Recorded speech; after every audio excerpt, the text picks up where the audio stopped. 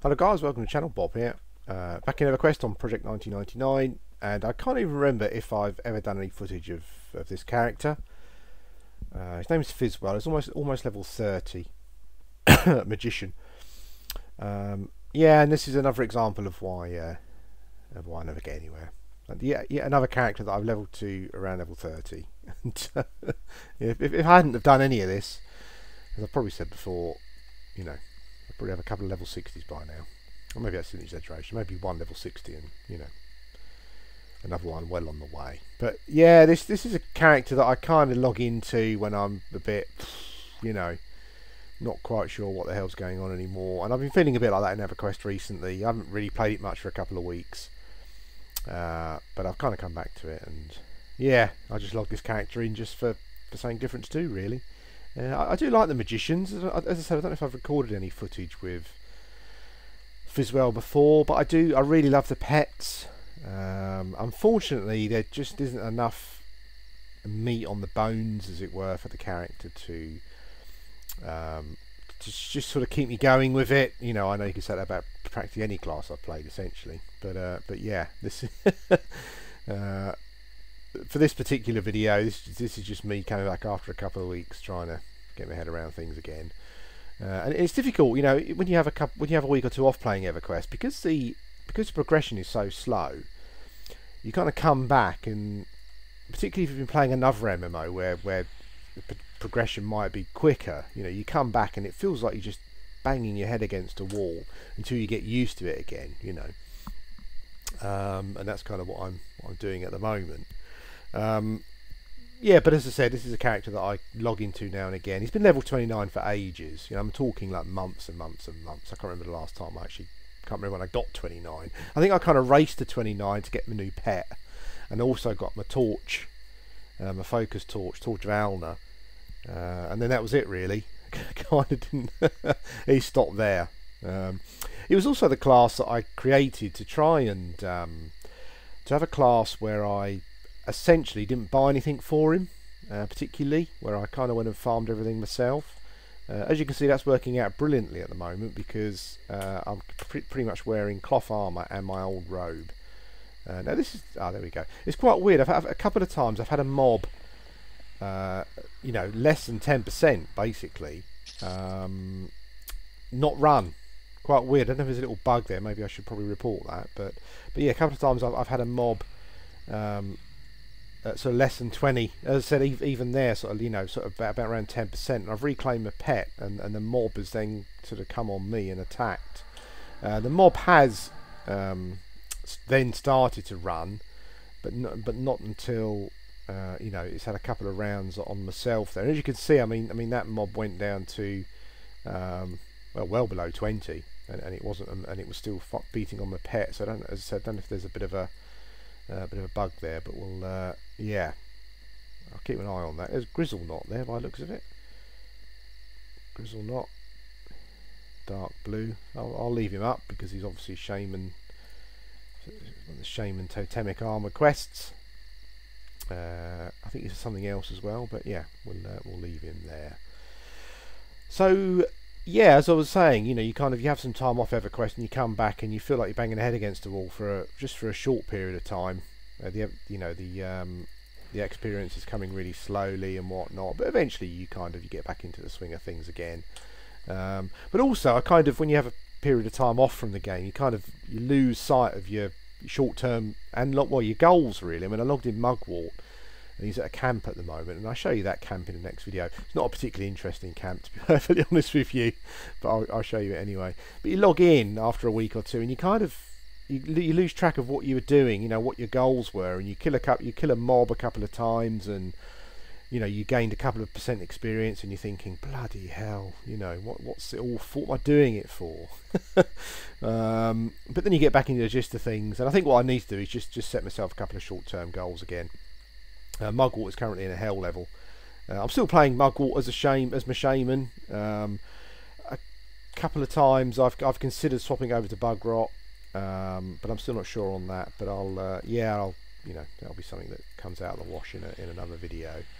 Um, I kind of, I mean, a, a, while back, I sort of went through a similar sort of period, and I kind of said to myself, well, it doesn't, you know, and a couple of you guys said actually, well, it doesn't really matter what you do, you know, just don't worry about it too much. If you, as long as you're enjoying what you're doing, uh, eventually you'll get there.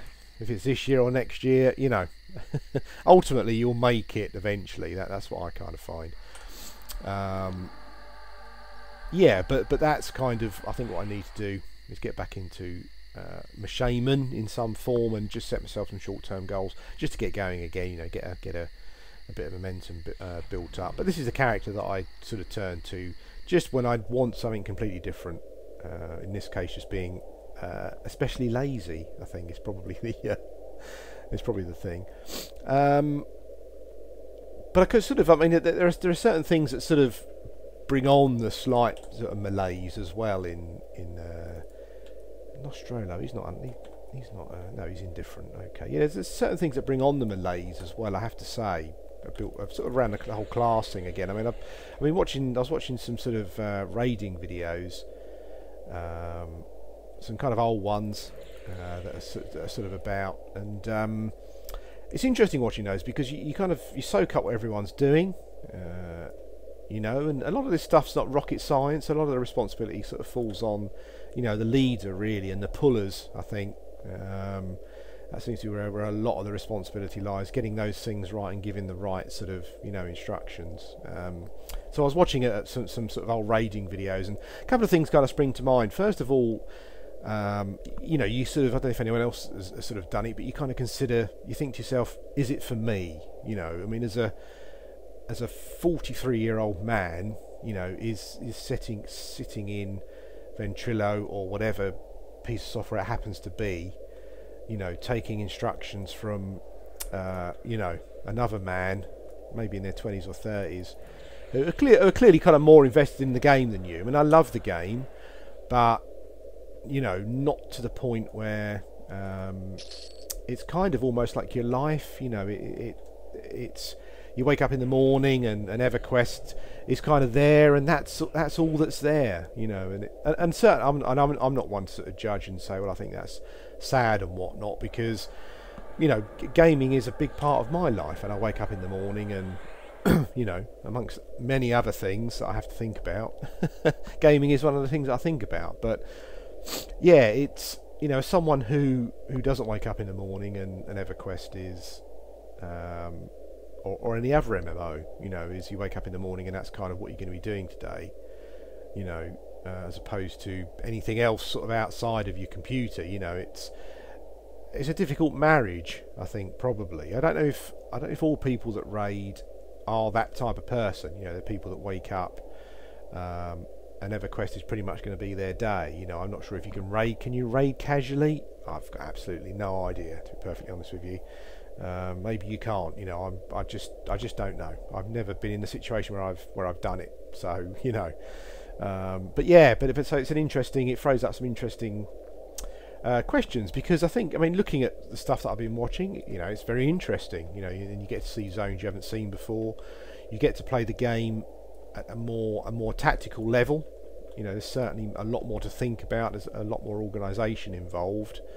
Um, and while I can't say that I admire people who go to those lengths and you know um, have that time investment, it's certainly quite interesting, you know, and, and, it's from a gaming, just from a purely from a gaming point of view, I'd imagine it's quite interesting to do because it's yeah, the, the game itself becomes immediately becomes more tactical.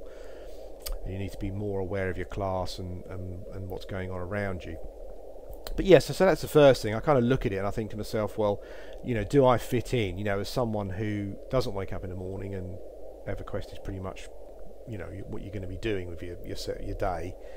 Uh, is, would would I fit in? You know, is it, is it something that that I would, do I want to fit in? I guess that's a sort of a lot of uh, getting a bit heavy. Maybe I'm being going into it a bit too much, but but yeah, I mean, these, these sort of thoughts that I've had, and I'm you know I'd be quite surprised if other people hadn't had a similar thought. So yeah, I'm just uh, just expressing them. But but that's the first thing that I that I thought when I saw the raid footage. You know, do I do I have the investment in the game? Um, is it? I guess it, you know, is it fair to to, to be to go and be involved in that kind of thing when you're not as invested as everyone else when you don't take it as seriously well, I don't know I mean, these things throw up all sorts of strange social questions you know it's it's quite if, you when you think about it maybe think about it too much yeah it's quite it's uh, it's quite interesting you know it's uh, the, the whole yeah, sh- should you really be doing it if you're not as invested? I, I, guess the thing is that you, unless I don't know, you know, maybe maybe you, you would only do it if you were if you were invested. You know, I mean, I'd quite like to do it, but I don't know if you can do it purely from a point of, of view of. I'm quite interested in the, the game mechanics and how it works and, and that side of things. You know, um, I guess you're going to put a lot of time in. Um, I guess you've got to be willing to sort of wake up and maybe get involved at, at certain times. And again, you know, so I mean, I think that's the thing with EverQuest, isn't it? Is it gets to a point where uh, the, the people that progress and, and make pro, you know, make progress in the raid scene are, re- are people who can wake up at five o'clock in the morning, you know, to sort of track a mob and stuff. You know, it's and I guess at that point well, I guess at that stage in your life, that's maybe that's really all you're going to have, I suppose. Really, I mean, can you have a family and a job and wake up at five o'clock in the morning to to track a, a, raid mob? I'm not sure. But anyway, that was the first thing. That was the first question that sort of froze up to me. Anyway, is you know, would I, can I be invested in it? And uh, and would it be fair for, for me or anyone else, you know, to sort of get involved in it if you're not really able to, to put the time in? I mean, certainly, I, I think probably uh, as I as I get up there, uh, I think maybe just as an experiment, you know, maybe uh, it'll be interesting to see if, if, it is possible for me to do get involved in some raiding and, and do some raiding, um, but not, yeah, but not but not really have that. I don't know. Maybe you know only be able to put in a certain amount of time you know is, is it is it possible I think probably not you know from, from what I've seen of the raiding from what I've sort of you know watched and, and heard and sort of read about read about the raiding scene um, I think you've got to be willing to a certain extent to make EverQuest your yeah your family and your job and your your life for that for that period of time you know however, long you're willing to do it maybe I'm wrong you know if anyone has got any views on that uh, yeah, if you've got any experiences, then let me know. But I'm certainly not not knocking it. You know, I'm I'm not one to sit here and criticise someone for something they've decided to do. That's not not why we're here. But it was just a you know just a just a, a thought that sort of occurred to me. But the other thing as well, watching watching a, a raid, is quite interesting from a class point of view because you can sit there and watch what people are doing, and you can you can almost decide. Well, you can you know you can sit there and think to yourself, what what would I like to do in a raid situation? You know what, and I guess also that kind of extends slightly down to a group setting as well. You know, what would I like to be doing in this raid? Would I like to be dealing damage? You know, would I like to be buffing, buffing and slowing? You know, would like to be sort of crowd control, tanking? It's interesting, and I kind of looked at it, and I, as you can probably imagine, I didn't really come to any any great conclusions, you know, as to what I'd like to be doing. Um, I quite like the as. I quite yeah, see that mob was about to come to come for me then. I quite like the aspect of being in your face and sort of hitting things. I think, to be honest with you, from I think it's kind of got to a point now where, um, although the expectation is for Project 1999 to be around, um, you know, for quite some time still. Um, and it's perfectly possible for me to sort of look at a raid and think, well, actually, you know, I've just seen the role that I would like to do in, in a group and a raid. You know, sort of now it's probably a bit late and a bit unrealistic. I don't think I'd kind of want to go through 60 levels of a character now, you know, and uh, sort of with a view of this is what I kind of like to do in a raid. Uh, because when I got there, I, I don't actually know if you know, if, if I'd be able to raid. That's the, I guess that's the thing. But yeah, kind of getting off track a bit. But it's quite interesting to see how characters work, and then you can, and then you kind of look and think to yourself, well, actually, that's the role that I'd quite like to be doing. Um, yeah, and, and maybe that's maybe that's one way of doing it. Maybe it's a maybe that's a sort of a, a bit of advice to to anyone coming to the game um, coming to the server is maybe I've just watched videos first, you know, and watch what classes do within a group and what they can do solo, and maybe make your decision based on that. You know, what do you like to do? Because I imagine it's probably quite. I know, I know it's something that comes up quite often on on the forums, you know, what's sort of best class to start off with? You know, is a what is it realistic to start a warrior as your first class and blah blah blah that kind of thing. So yeah, I think watching videos uh, certainly gives you, uh, I think will give you more of an idea.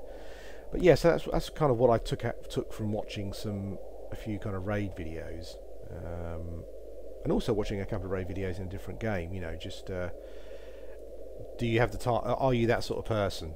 You know, do you are you able to invest the time? Uh, it'd be interesting when I get there. I kind of, I mean, uh, to be honest with you, I'm kind of half expecting. Um, one of the reasons I kind of play soloable characters is because my expectation is that I would.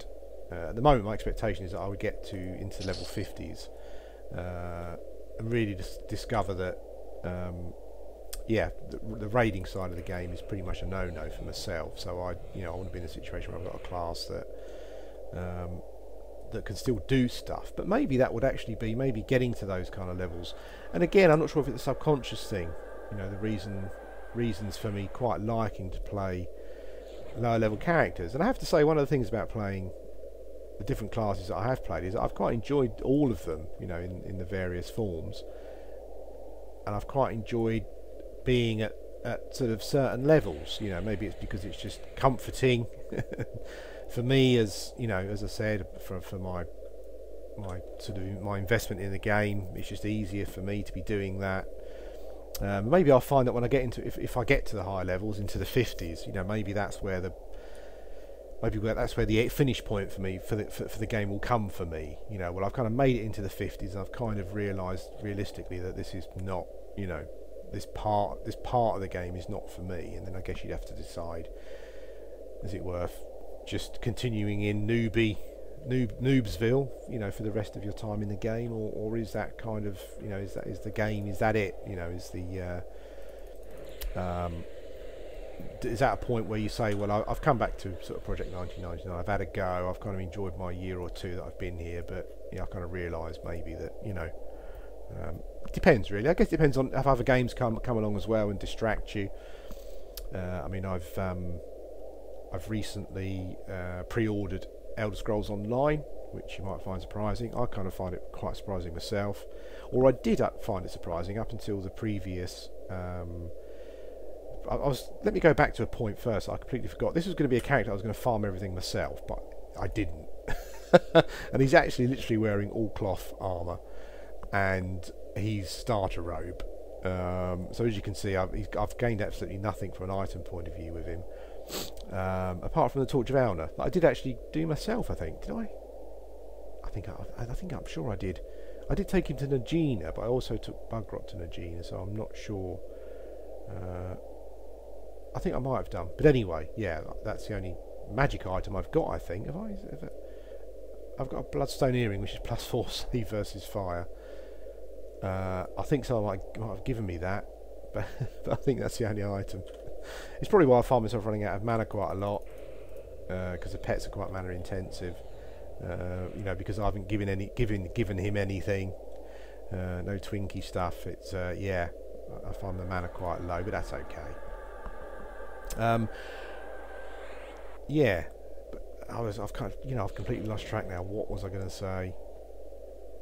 I flipped from something to uh, yeah that's what I was I was talking about Elder Scrolls Online yeah I kind of uh, I mean I was I had no intention of pre-ordering Elder Scrolls Online until I played the last beta and I, and I really enjoyed it actually um, from a challenge point of view kind of challenges the challenge there's challenge there you know you got you got some you get some world bosses you come across that are pretty difficult to fight some of the dungeons are quite difficult but generally the you know the uh, uh, the um, the generic mobs that you fight when you're just generally going around the world are, are, pretty simple to kill. You can kill them in groups quite easily, and there's no real challenge in, in that regard. So, from a challenge point of view, and I think from a game mechanics point of view, it you know it doesn't touch EverQuest at all. Um, but it's very, but it, it, feels a bit like Skyrim. It's a bit weird actually because of a lot of people. Before I started playing it, a lot of the people were saying, you know, the game actually started out as a more of a traditional MMO, um, and then I think you know, as people do, you know, the, the people with the big, the biggest, biggest voices, you know, they started complaining in beta, saying they wanted it to be a bit more like Skyrim. So I think they tried to then make it a bit more like Skyrim, and, and they dropped some of the uh, they dropped some of the kind of the MMO, you know, the MMO kind of traditions that you, you, you, you generally find to make it a bit more like Skyrim. So at the moment, it kind of feels a bit like a hybrid um, of the two games. But what I quite liked about it was that I, as I've said before, I'm sure you all know, I, I quite like um, just existing within an MMO world. You know, it's um, it, that's kind of that's kind of enough enough for me. You know, it's uh, if it's got the challenges of EverQuest um, and and the, the, the thing, you know, the the little um, the little things that sort of you know make EverQuest EverQuest, and that's fine. But if it, if it hasn't got that, I do quite like just being in an MMO world. Uh, and and the the Elder Scrolls Online world is very nice looking, um, very interesting to explore. Um, some of the some of the quests are you know fairly interesting. Uh, some of the ones that I was doing, I, I, quite liked. You know, I mean, there was a they've kind of changed the start of the game, so you don't have to go through the starter island. Uh, and I think I was, uh, I think I basically spawned straight in Daggerfall, um, and I did a load of quests um, and gained a few levels before I even did any fighting. You know, it was just just kind of story-driven quests. Uh, yeah, that were quite interesting. So that I think that's that's if you like existing in a world and you liked Skyrim and you like story-driven stuff. Um, yeah, I think Elder Scrolls Online is going to be a, a pretty interesting game. Uh, I'm quite looking forward to playing it actually. I mean, I've, it's been a long time since I looked forward to playing a, a new MMO. Uh, but from what I played in the beta, I'm yeah, I'm quite looking forward to it. Um, I'll do some footage of it as well. I'll kind of record record the progress that I make. Um, I'm quite one of the things that I'm quite excited about that I really like is the uh, the character uh, the character uh, skill system, uh, the way it works, different classes and different weapons. Uh, kind of quite reminds me of um, quite reminds me of Ultima Online actually, the way you can kind of build your character and sort of pick from a, a few, some skills to, you know, maybe create the thing you want rather than being locked into a class.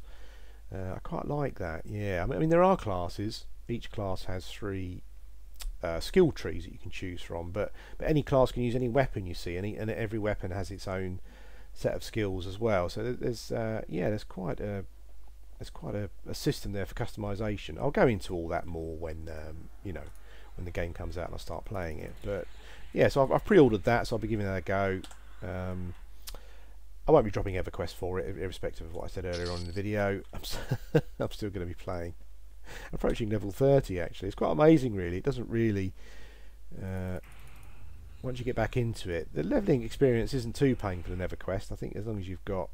I think as long as you're in the right area, you know, I mean, at level 29, I think Centaur Archers are probably a bit low for me. I should be looking at other stuff, but because they're quite low dark blue, it means that you know when I reclaim a pet, I get some mana back, so I'm a bit more efficient because they're not doing as much damage. Uh, and it just allows me to sort of move on and and, and kill more mobs.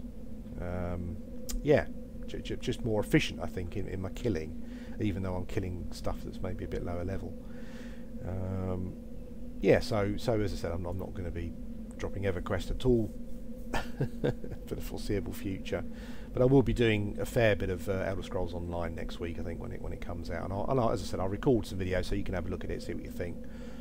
You know, you, I'm sure you'll probably come to any any EverQuest player who's been on uh, P99 for a period of time will probably feel the same way. The challenge is essentially non-existent unless you force yourself into doing these some big bosses.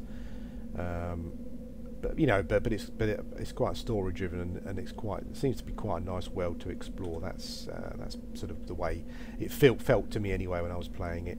And uh, yeah, we'll uh, we'll see how we go. Let's reclaim again. Um, this kind of been my standard fare for the magician. Um, I, I, wasn't reclaiming um, up to a point, but it, it, feels now as though it's probably the, the most sensible thing to do. You know, I, I'm I probably need to chuck some mana at this guy so I can, you know, just go on for a bit longer. But yeah, I've, I've got to a point where I think reclaiming and, and getting all the experience is probably a sensible sensible thing to do.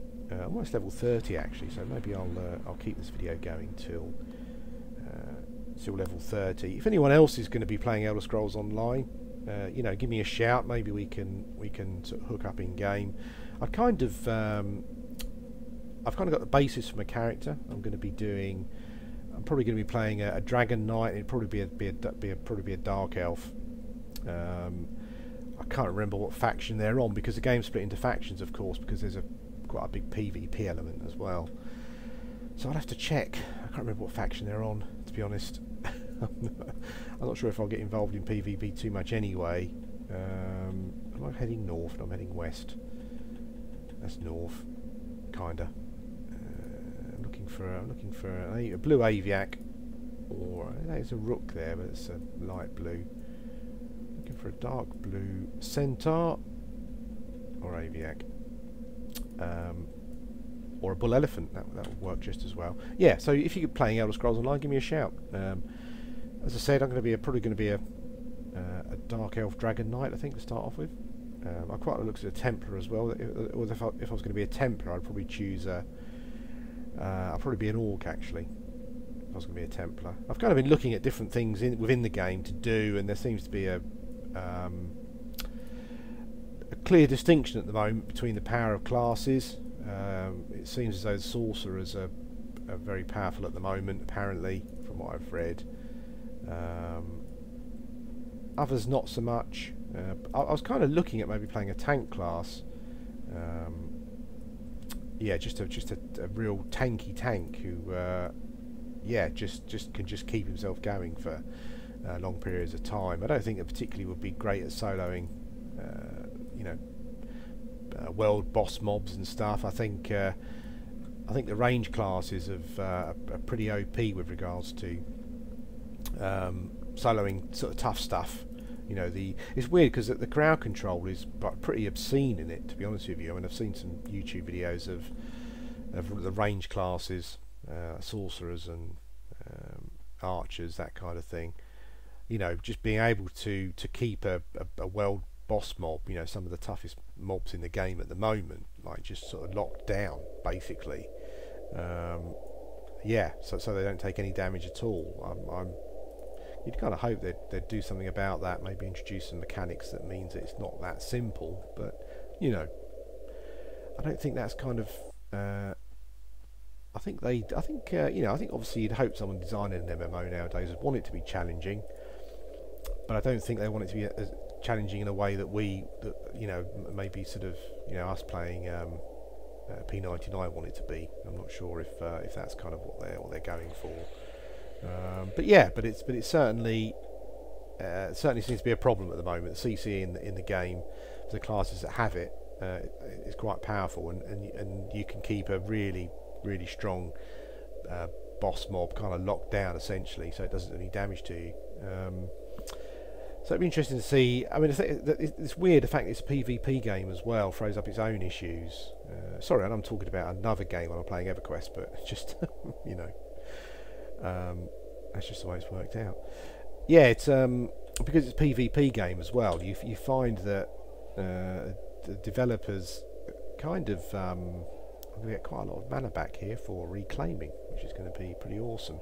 You find the developers kind of uh, yeah, kind of balance the game and the classes also. So you not only are they trying to balance the game based on PVE, but also based on PvP as well, and that could be a recipe for disaster because the PvP element, I'm not, I'm not, you know, I won't be at all surprised if, um, uh, you know, if there's a, an awful lot of tuning of classes uh, throughout, especially throughout the the first year or so. Hopefully, it's not too bad because I don't like that, but yeah, we'll uh, we'll see.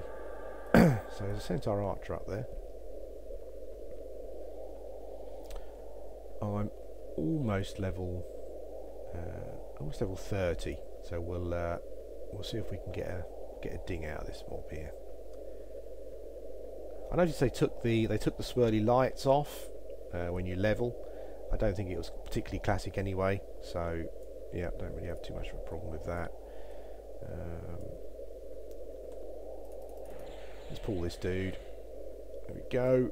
Now this might be our level 30 mob, or I might need one more. I guess if I'm gonna, you know, I mean, as I said, Fizzwell is just a character that I log into every now and again just to muck around with, so I can't imagine I'll do much more leveling with him at the moment after this. I need to get back onto my shamans and, you know, start sort of uh, making a bit, a bit of progress there again. I've had a funny, funny week actually. A funny couple of weeks actually, uh, with health and stuff. Sort of just all these cold bar bugger. The worst. That's what you just don't want to see as a magician. Is a, a social mob wandering past. Uh, although actually, I was quite lucky there. so we go. See, the archer's at three percent, and it's uh, it wasn't it wasn't running from a mob, so that's from a pet. So that's got to be a. There we go. So that's got to be a bug, I would have thought. Not sure. Yeah, but a strange couple of weeks anyway. So partly why I haven't been playing too much. Just loads of bugs and stuff um, going around in the winter as, as they do, and yeah, kind of just been knocked for six a couple of times uh, over the course of the winter.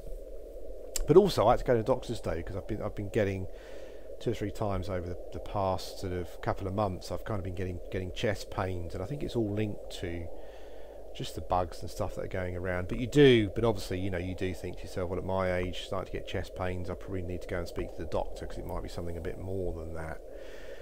Um, and I went to the doctor today, and she, yeah, she didn't seem to think it was a heart thing. Uh, she's booked me in to uh, have an ECG next week, just as a, a, precautionary measure. But she seemed to think that it was probably just uh, to do with the bugs and illness over the course of uh, over the course of the uh, um, yeah over the winter. But it's quite weird that it does it does it does make you think about your mortality a bit more. You know, sort of how uh, yeah.